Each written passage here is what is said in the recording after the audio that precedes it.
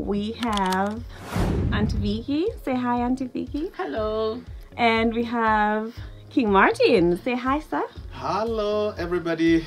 So, are we ready? Yes. We are good to go. Okay, swords ready? Matthew 3, verse 9.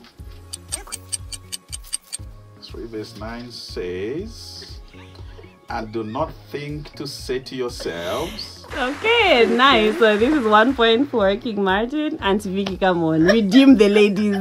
I we, will. we got this. Okay, so one for the ladies. Swords ready? Ready? Okay, Esther 2, verse 6.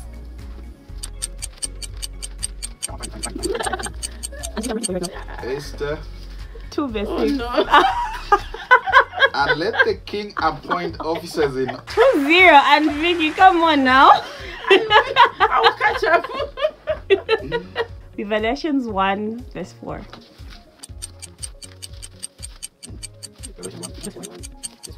Revelation of Jesus Christ. because I can't wait for her, isn't it? And you did wait. I was like, is he waiting for her? I was waiting for but I was Swords ready? Yes. Okay, Jude 1 verse 6.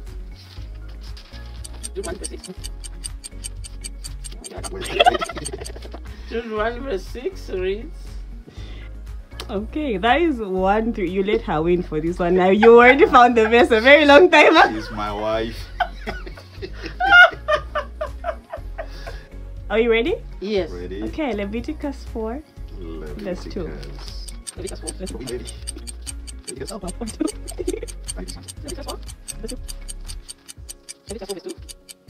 Speak to the children of Israel, saying, If a person sins, He let you win for this one as well.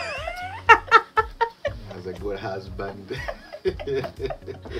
How was that experience? in our early years of dating, we, we used to have Bibles. Bible what? Quizzes. And, Bible quizzes. Mm. And I always used to lead, and you'd be number two. Oh. I don't know what has happened. Mhm. Have you backslidden? Oh.